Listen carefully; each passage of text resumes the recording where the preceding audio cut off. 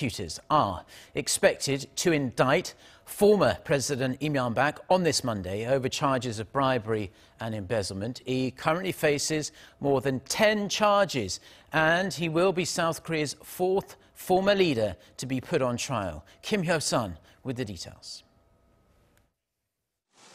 Former President Lee Myung-bak is expected to be questioned by the court next month following his indictment on Monday.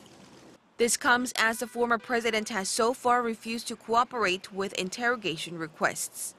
Lee faces over 10 charges, including accepting bribes of more than 10 million US dollars.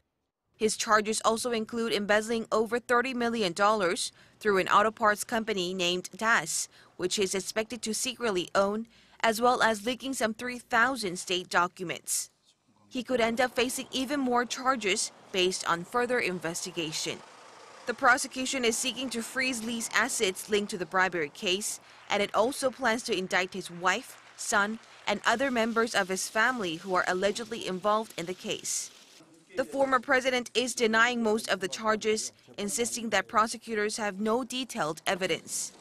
He'll be South Korea's fourth former head of state to stand in court over corruption charges following Chun Doo-hwan, Tae-woo, and Park Geun-hye.